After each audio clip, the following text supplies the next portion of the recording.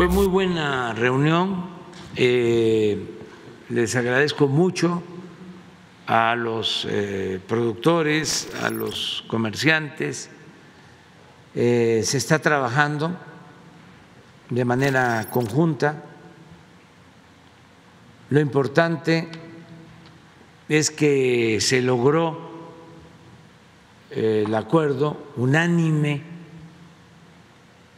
de eh, mantener precios sin aumentos, de productos básicos, alimentos. Llegamos a ese acuerdo y a otros lo importante es que todos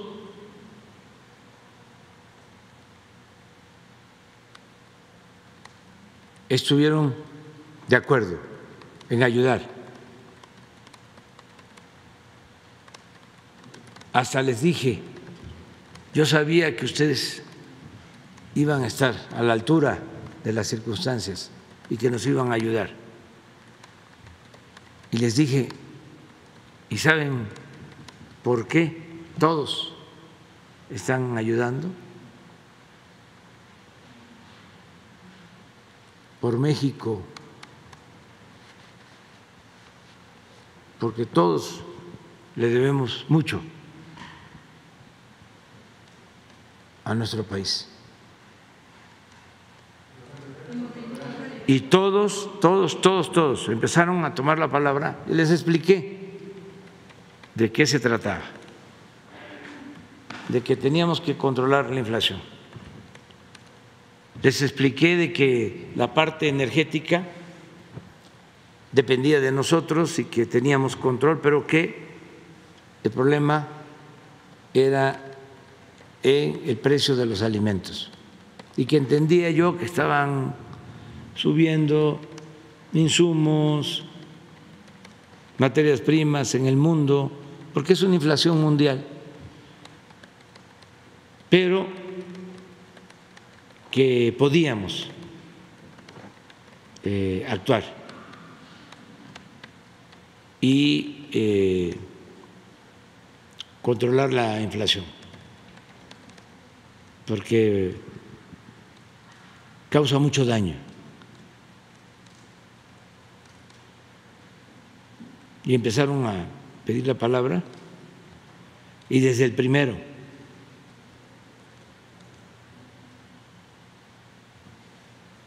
nosotros apoyamos. Y luego el segundo, el tercero, todos, todos. Y quedamos en que se está trabajando el plan, es reforzar lo que ya se había hecho, pero ahora con más eh, profundidad. ¿Cómo se reforzaría? Eh, definiendo muy claramente los precios de la canasta básica, que no haya aumentos. Precio máximo, precio fijo. Algo así, pero no es este control de precios. O sea, se va a llegar a un acuerdo, decir, esta canasta de 24 productos y si es posible se va a ampliar, va a costar tanto y por producto tanto, porque participaron productores, distribuidores, industriales, los más importantes, en la distribución, por ejemplo. que yo recuerdo, hablaron los tres.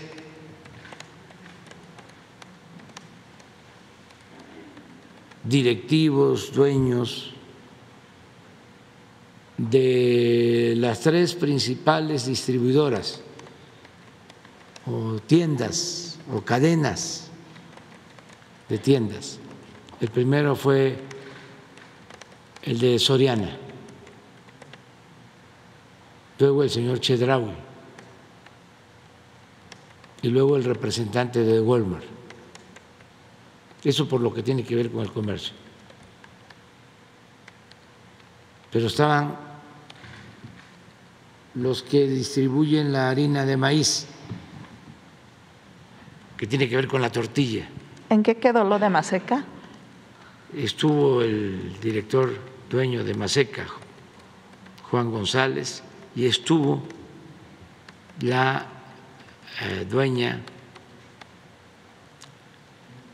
gerente de Minsa. Altagracia.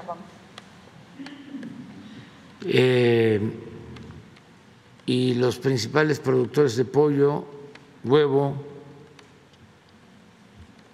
nos importa mucho el precio de la carne de pollo, los huevos, eh, carne de res,